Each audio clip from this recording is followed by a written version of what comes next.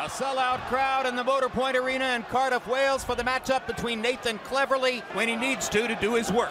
They start off at a high work rate in round number one, and Kovalev is left. Kovalev. Kovalev's the most dangerous challenge at light heavyweight. Roy Jones, what do you see in the early going?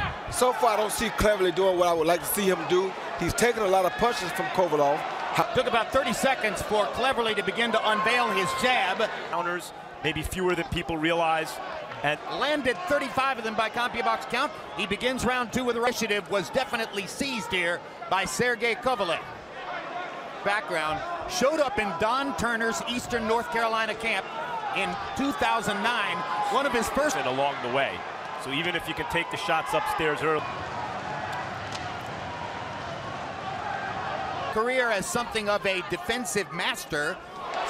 And there's Cleverly landing. So when you go get a defensive guy to help train that puncher, you make him into a true, truly devastating opponent. Or the discussion from earlier, Roy, it remains to be seen here how Kovalev will push him into the deep water. Cleverly obviously doesn't believe that Kovalev can hold up. For like this one, it's Kovalev who's on the road. Hard left hook by Kovalev, momentarily. And great body work by, by Kovalev as Hard well. right hand and down goes Cleverly. Up too much, not punching himself out, mixing it up downstairs. Down again, Cleverly. Kovalev showing good finishing instincts, throwing that hard hook to the body. Both previous performances this year were third round knockouts. But I think he'll finish him now because he did go to the body very good that round.